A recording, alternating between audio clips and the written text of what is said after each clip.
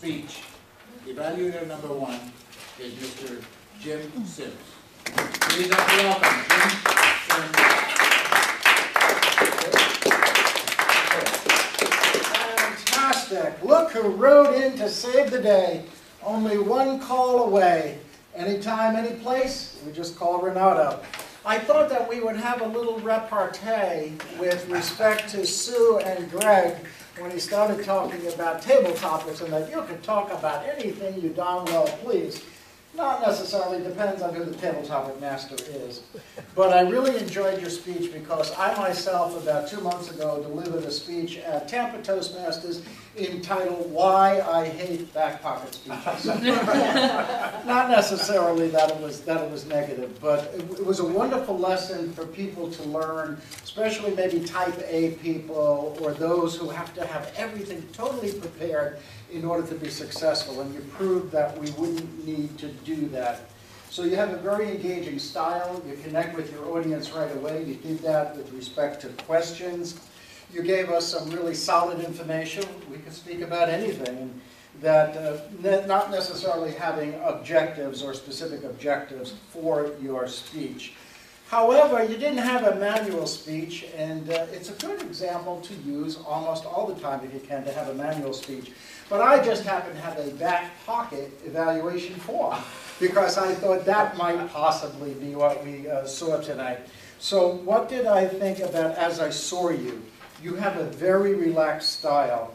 And instead of giving a speech, I think it could be said that what you're doing is having a conversation with us. And I think that is almost sometimes an ultimate compliment for somebody who is a Toastmaster. You usually have a little bit more animation in your gestures, so I would suggest that maybe they not be quite as subdued, although when you talked about up north, that was very, very vibrant uh, gestures. I thought that your material, your content, your introduction, and your conclusion were all spot on. You were very encouraging in terms of your presentation. You gave specific examples of how you came up with your back pocket speech, which I help, I think relates to the audience, especially if we haven't attempted to do that before.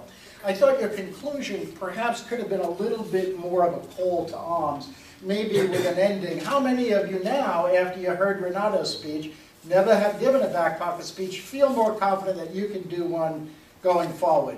Okay, how many? All right, excellent. So, you know, that kind of seal the deal type thing. What was the purpose of the speech? To encourage us to take the plunge into back pocket speeches. Now, as far as a few suggestions, try a longer pause. I know coming from me that people like Joe Jones will say, what actually talks about he never pauses. But you can actually begin your speech with a little bit more of a pause. I think used more of the stage. You tended to be just in one area of the stage. And I know sometimes I do that, and I think it's because I'm afraid of getting out of range of the camera. Sue can follow us. She's very, very good at that. Frank, not so much. You may want to stand in one spot Frank is the cameraman. I would suggest, I would suggest having a speech title. Maybe even tell us some of the negatives or objections that you think we might have about not trying a back pocket speech. The, uh, the only thing I would uh, close with is audiences always enjoy stories, and I think that you proved to us that perfection is not a requirement to do a back pocket speech.